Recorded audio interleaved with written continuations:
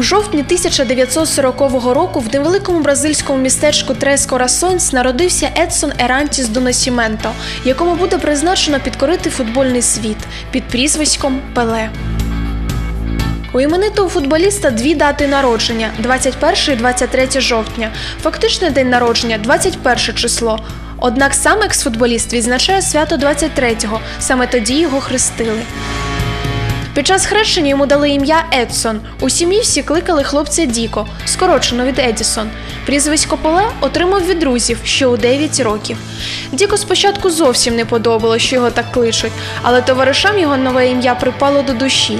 З того часу всі почали називати його Пеле. Жодна з версій про походження цього імені досі повністю не підтверджена. У 1967 році в Нігерії було оголошено перемир'я на 48 годин.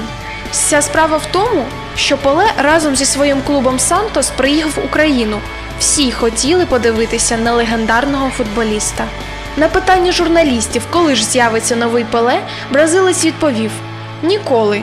Мої батьки припинили виробництво.